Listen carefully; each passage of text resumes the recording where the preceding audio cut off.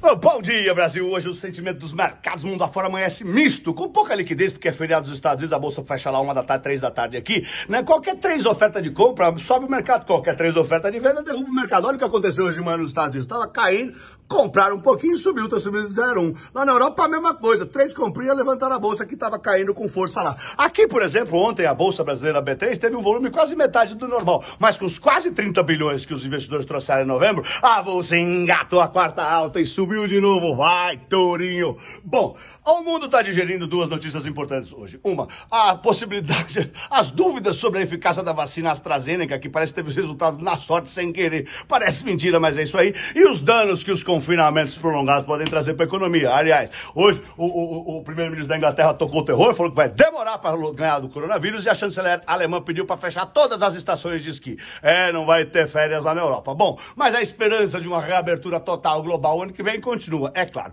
O que traz um pouco de ânimo são, é o resultado do lucro das indústrias da China, que subiu quase 30%, 28%, um assalto em nove anos. É, a segunda maior economia do mundo, segue se recuperando. Bom, a bomba de hoje vem do Donald Trump, que ontem deu uma entrevista, uma coletiva surpresa na Casa Branca, disse que se o colegiado dos estados derem a vitória pro Biden, ele vai renunciar e não vai admitir a derrota e não vai no, no, na cerimônia do democrata. Eu sou Pablo, bons negócios. Vai, Torinho! Vai, Torinho!